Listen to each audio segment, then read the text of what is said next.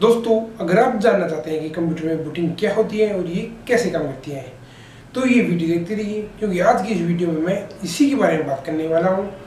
मेरा नाम निशान चौधरी, आप देख रहे हैं निशान बात लेट्स स्टार्ट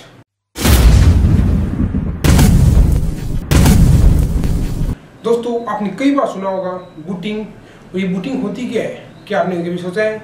आज की वीडियो में मैं बताऊँगा कि बूटिंग क्या होती है। मान लो आपके पास कोई विंडो पीसी है उसके अंदर आपका ऑपरेटिंग सिस्टम काम नहीं कर रहा है।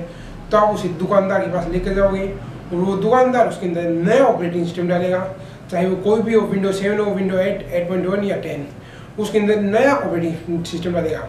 जिस ऑपरेटिंग सिस्टम को डालता है, उसे डालने की जो प्रोसेस होती है, उसे बूटिंग कहते हैं। जो हर कंप्यूटर की अलग अलग तरीके से हो सकती है। अगर आपके पास एस का कंप्यूटर है तो उसमें आपको लगभग मिलेगा F2 या डिलीट का बटन जब विंडो स्टार्ट हो रहा है, यानी आपका पीसी जब स्टार्ट हो रहा है, उस वक्त आपको नीचे ऑप्शन आता है, वो की दबाने का।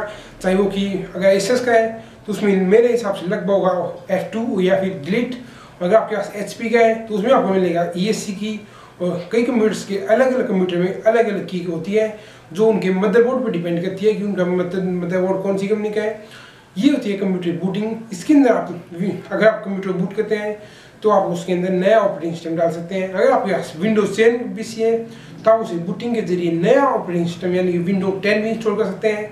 ये एक आसान प्रोसेस है, आप इसे अपने घर पर भी कर सकते हैं। सिर्फ़ आपको एक ऑपरेटिंग सिस्टम डाउनलोड करना होगा, चाहे आप उसके ट्रायल वर्जन करो या फिर आप उसे ऑफिशियल साइट से खरीद भी सकते हैं।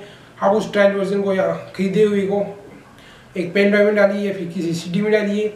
और साथ ही साथ आप ध्यान रखना कि वो पेन ड्राइव या सीडी बूटेबल डिवाइस होना चाहिए, जिससे आप अपने पीसी में वो नया ऑपरेटिंग सिस्टम इंस्टॉल कर रहे हैं। उसके बाद उस पेन ड्राइव को अपने कंप्यूटर में लगाइए और अपना जो मदरबोर्ड के कमांड की है, उसे पेश कीजिए और अपने पीसी को आसानी से बूट कर सकते हैं।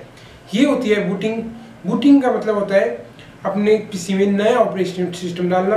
ये होती है बूटिंग की प्रोसेस मुझे उम्मीद है कि आपको पता चल चुका होगा बूटिंग क्या होती है। ये कैसे काम करती है?